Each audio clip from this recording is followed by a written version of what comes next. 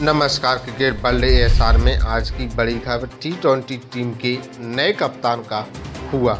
ऐलान। इस समय सभी टीमें वर्ल्ड कप की तैयारियों में लगी हुई हैं, लेकिन इसी बीच ऑस्ट्रेलिया की टीम में बड़ा बदलाव देखने को मिल सकता है, क्योंकि 30 अगस्त से साउथ अफ्रीका के खिलाफ शुरू हो रही तीन टी ट्वेंटी मैचों की सीरीज़ के लिए ऑलराउंडर खिलाड़ी मिचेल मार्स को ऑस्ट्रेलिया की टी ट्वेंटी टीम का नया कप्तान बनाया जा सकता है, क्योंकि टीम के कप्तान पैड कमिंस चोट के कारण इस सीरीज़ से बाहर हो गए हैं।